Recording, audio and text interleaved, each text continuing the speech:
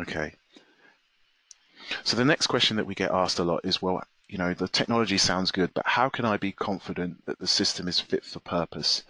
And in order to answer this question, I like to go back to the product life cycle and talk a little bit about um, how traditional sprinklers um, do this. So when Thomas Grinnell, uh, he, his, he started to sort of sell his product at volume. Um, initially, he was the only manufacturer. His system was patented, but what he did is he had it third-party assessed. So an independent company came in. They um, against the test plan, they uh, verified that the system, if it was installed in this particular way, would perform um, adequately. Now, later down the line, his patent ran out, at which point you would have multiple manufacturers who are able to create the product. And um, in the UK, at least, when you have three manufacturers producing the same thing, you can then apply and have a British standard. Now, the purpose of the British standard is to, uh, I guess, ring fence the technology, the, the, the technology or the framework, so that multiple manufacturers, you can say that each one of these manufacturers are producing something of a consistent quality and leverage the independent third party uh, testing. So as a result today, now you have manufacturers, you might be an individual based in Cornwall or a manufacturer in China, as long as they follow this framework, the system um, will perform uh, based on this third party testing. Now, we often get asked, well, does your system meet the standard? Now, the reason we cannot say we meet the standard is because the standard is prescriptive and involves or explains um, characteristics that are um, uh, are common to the technology. So the prescriptive standard says you've got to use ceiling mounted nozzles, you've got to have a pump um, a network of pipes. Because we don't follow that guidelines, we have to we have to find or use other ways to demonstrate um, compliance. So um, we're at a different stage in our product lifecycle. Our product is still patented, but what we do do is have it independently third party tested to demonstrate um, compliance. Now, this is a, a, an interesting point and um, um, one of the outcomes that we really liked or that we agreed with that came out of the Hackitt report was one of the uh, points that, that um, uh, Dame Hackitt pointed to was that there was an over reliance on prescriptive guidance and that not enough emphasis was being placed by the industry on looking at buildings um, on a case by case basis. And I think this is, we completely agree with this because um, often or sometimes we find that approvers want to sort of tick a box, oh, yes, it meets the standard, but not really look at the conditions and ensure that the conditions are appropriate for the installation of that system. One example might be you wouldn't install a um, compliant BS9252 sprinkler in a um, data center, in a in a IT center, um, because it's not appropriate. Um, so um, whenever approvers or people are taking the time to consider if something is fit for purpose, I think it it, it helps the industry as a whole. Now, this view is also shared by um, Sir Ken Knight. Um, now, I'm not sure if this sound actually comes through on the webinar, but I'll put the link into the, the chat. But basically, he is um, explaining um, how he has been involved in standards, but there is a framework that exists for standards, sorry, for products that um, are innovative and different. Uh, the the way to where to find this, well, if you look in the Approved Document B, it says you can use alternative systems as long as they've been tested and shown to be fit for purpose. So to help approvers answer this question, we follow the same framework that insurance companies use, and they ask three questions. Will it work? Is it designed right? And is it in service? And if you can answer all of these three questions successfully, you can go away confident that the system is going to perform time and time again. So um, how do we answer the will it work question? Well, um, this again goes back to this independent third party testing that I talked about.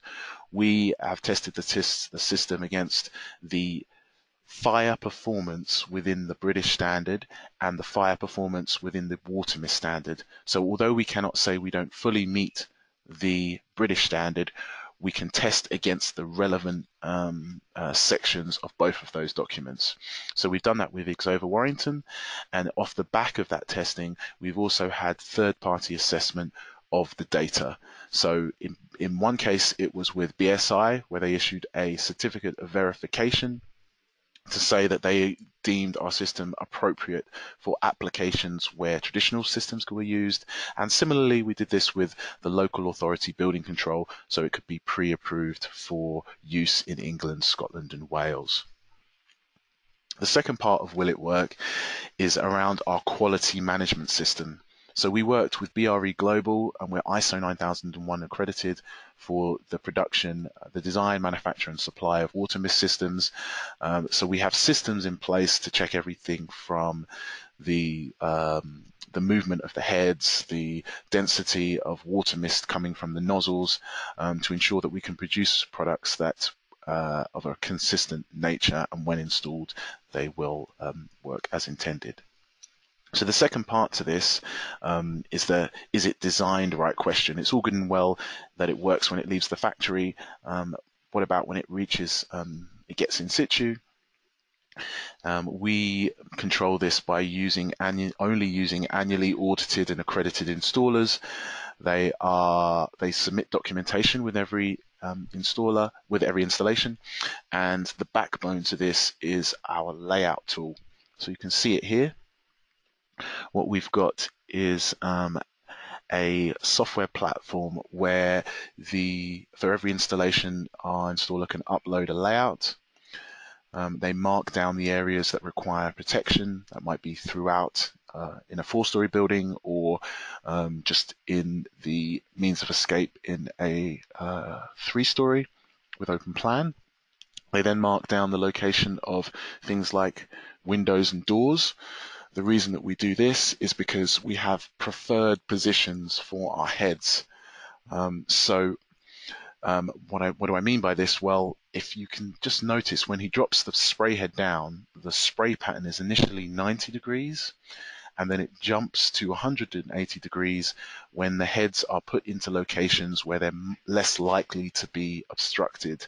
So we, we build this into our model so that we would encourage the placement of the heads to where we're going to get good visibility of the fire. Um, so you can also see there in the larger room, we've got a level of redundancy where the two heads are covering um, the same area. The next thing that the installers will do is mark up the location of the hoses. Um, the system will tell them um, uh, you know, if they're going over the performance limits, we have a 60 meter hose limit um, when it comes to uh, how the system is deployed.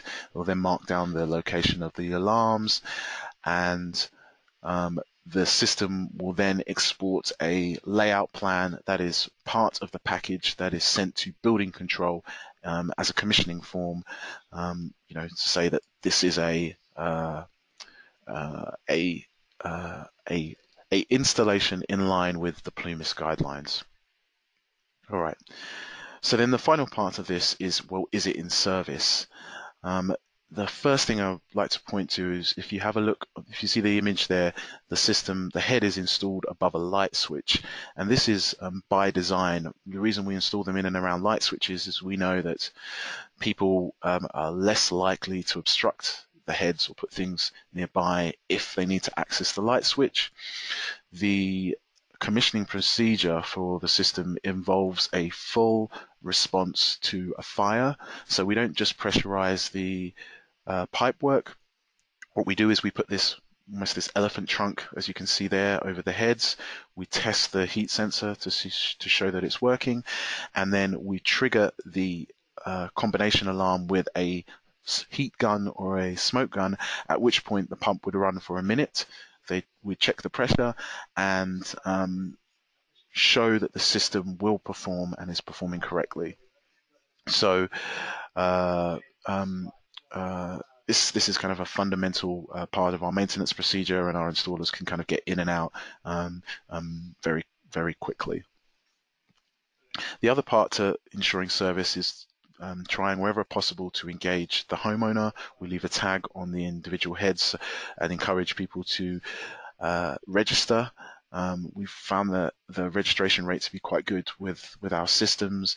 Um, people um, often intrigued about it and um, got a lot of uh, videos and stuff online, um, and we can give them email updates to say when maintenance, which is consistent with other sprinkler systems, of an annual uh, check.